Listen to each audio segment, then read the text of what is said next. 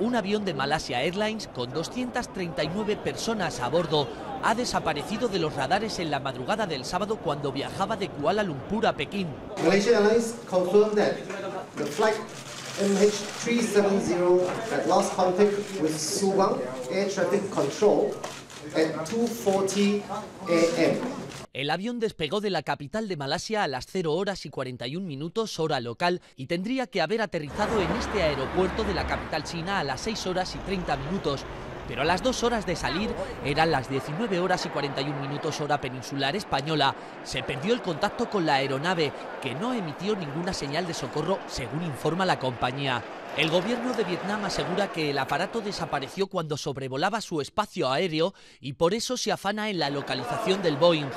El grueso del pasaje es de nacionalidad china, pero también viajaban 38 malasios, 12 indonesios, australianos, estadounidenses y 6 europeos. 12 personas eran miembros de la tripulación.